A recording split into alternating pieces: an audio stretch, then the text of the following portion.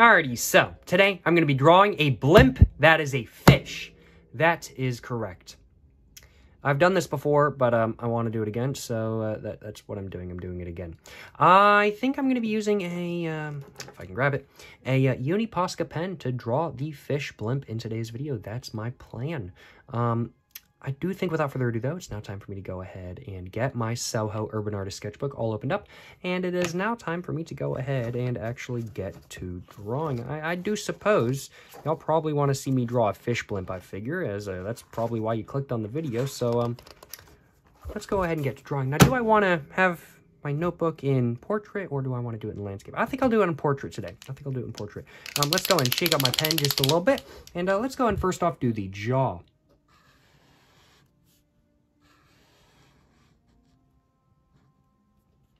Let's go and have the top coming all the way up and around. And let's go ahead and do the bottom as well, but I'm making sure it's just a little bit flat on the bottom because I got to make sure I have room for all of the cargo because this is a blimp after all.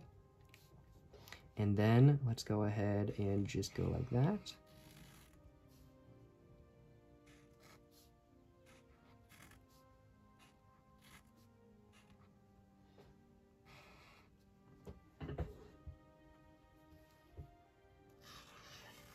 Don't ask me how this eye is just floating mysteriously. That looks terrible. Oh well.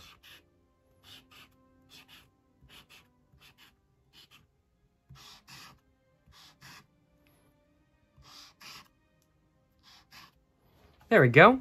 It doesn't look too bad now, does it? It doesn't look too bad. I do think I want to give this another go, though, I will admit, so I am going to do just that. And I think this time I'm going to go ahead and do it in landscape. I just think it's probably going to turn out better that way because then I can do a longer fish. And blimps tend to be pretty long, not really like really short kind of thing, don't they?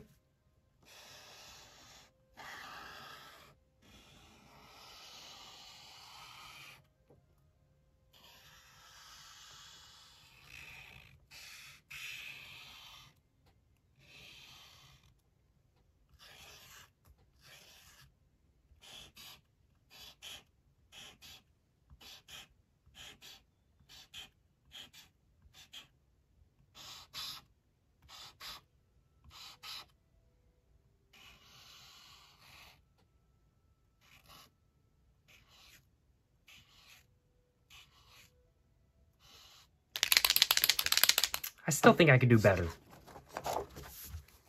My pen's kind of dying a little bit as well. I need to buy a new one. I need to buy a new one. Let's go and try this again, though.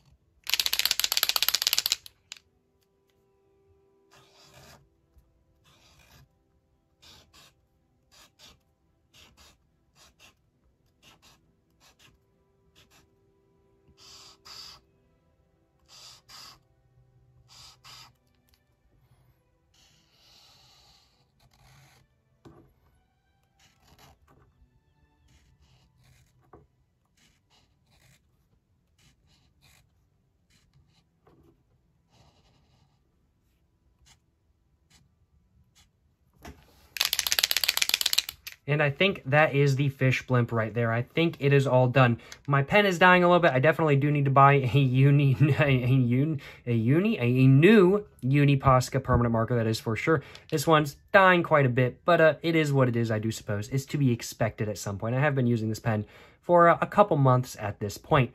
I uh, certainly hope you guys have enjoyed watching me draw a fish blimp in today's video, though. If you guys have enjoyed watching this video, of course, please make sure to like and subscribe for more content. Also, check out everything in the description down below, and of course, make sure to leave any uh, criticism or anything like that kind of thing that you guys might have uh, in the comments down below as well. Till the next one, y'all, stay safe and peace and have a great one. Yes, sir, yes, sir, you know I'm saying, I'm saying.